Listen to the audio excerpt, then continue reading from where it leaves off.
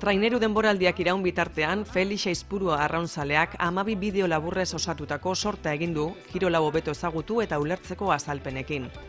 Oso baliabide gutxirekin, baina mimo eta kontu handiz, eta aurkezlearen ezagutza eta komunikatzeko gaitasuna aprobetxatuz, saio erakargarria eta oso didaktiko egin dute. Beste gai batzuetarako erraz erabil liteken formula erabiliz. Hori dela eta, epaimaiak erabaki du, aipamen berezia ematea zumaiako baleike.eu sagarkariak sortutako tapa pala bideo sortari.